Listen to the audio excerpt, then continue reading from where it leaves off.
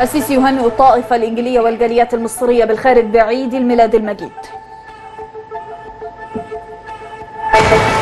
وزيرة التضامن تؤكد ضرورة وصول الخدمات إلى مستحقيها بمبادرة حياة كريمة. وزير النقل يعلن تدعيم الخط الثاني لمترو الأنفاق بستة قطارات جديدة مكيفة.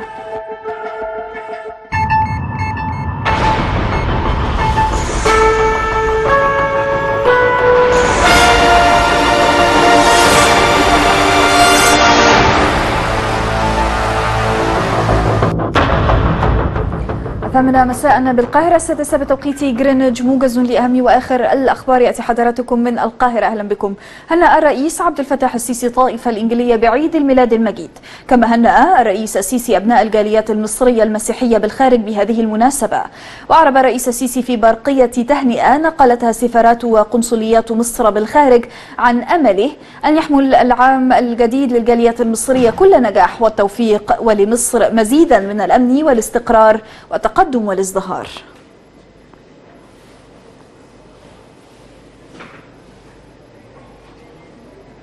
وجه رئيس الطائفة الإنجليزية بمصر الدكتور القس أندريا زكي الشكر لرئيس عبد الفتاح السيسي على قراره بتأسيس اللجنة العليا لمواجهة الأحداث الطائفية. وفي كلمته خلال احتفال الطائفة بعيد الميلاد المجيد بالكنيسة الإنجليزية بقصر الدبارة ثمن زكي قرارات لجنة توثيق أوضاع الكنائس. شارك في الاحتفال بالعيد أعضاء المجلس الإنجليزي العام ورؤساء المذاهب الإنجليزية بمصر بحضور وفد من ممثلي المجلس الاستشاري للرئيس الأمريكي دونالد ترامب وعدد من الوزراء والمسؤولين والشخصيات العامة.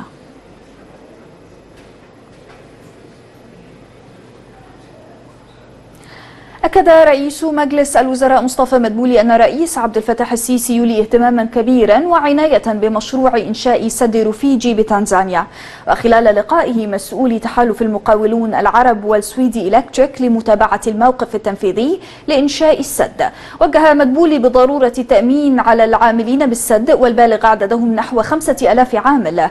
من جهتهم أكد مسؤولو التحالف إنه تم البدء في أعمال رفع المساحي للمشروع والكشف الكشف عن الطبيعة الطبوغرافية للموقع. كما بدأ العمل في إقامة منطقة إسكان للعمال وتمهيد الطرق التي تخدم وتسهل عملية الانتقال داخل المشروع.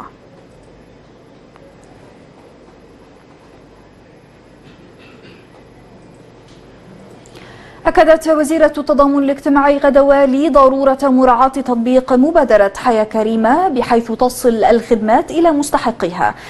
ذلك خلال اجتماعها مع عدد من الجمعيات الأهلية. وأشارت والي إلى أن الوزارة تقوم بتوفير قواعد بيانات صحيحة عن الأسر الأولى بالحماية ومراجعتها بشكل دقيق مع التنسيق بين الجهات الشريكة ومتابعة وتقييم المشروع واستقصاء مدى رضا المواطنين. وقعت وزارة البترول مع جهاز تنمية المشروعات المتوسطة والصغيرة ومتناهية الصغر عقدي تمويل بقيمة 20 مليون جنيه لتحويل 4000 سيارة جديدة للعمل بالغاز الطبيعي كوقود. وقال المهندس طارق الملا وزير البترول إن توقيع عقود التمويل يؤكد التزام الوزارة بتطوير الخدمات المقدمة للمواطنين وتيسير عليهم وإتاحة أنواع مختلفة من الوقود أمام المستهلك في السوق المحلية.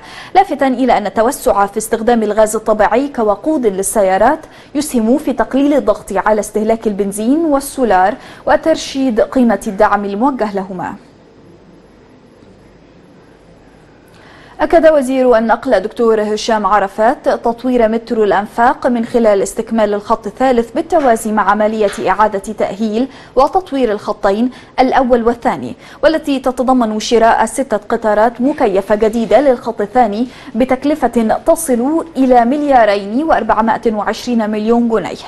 وخلال جولة تفقدية مفاجئة لمحطة مترو السادات اطمأن خلالها على عمل بوابات التذاكر وكاميرات المراقبة وانتظام التقاطر وحركة سير القطارات موجها بحسن معاملة الجمهور وحل أي مشاكل تواجههم بشكل سريع. أعلن وزير الزراعة واستصلاح الأراضي عز الدين أبو ستيت أن الصادرات الزراعية المصرية استطاعت خلال عام 2018 غزو أسواق جديدة بتصدير موالح وخضروات لأول مرة إلى دول مثل الأوروغواي وكندا والصين واليابان وميانمار وإندونيسيا وتايوان. وفيتنام. وأوضح أبو ستيت أن التصدير لتلك الدول تم بعد التوافق معها على شروط التصدير الخاصة بالصحة النباتية لديهم واستئناف تصدير الموالح بعد توقف دام موسمين.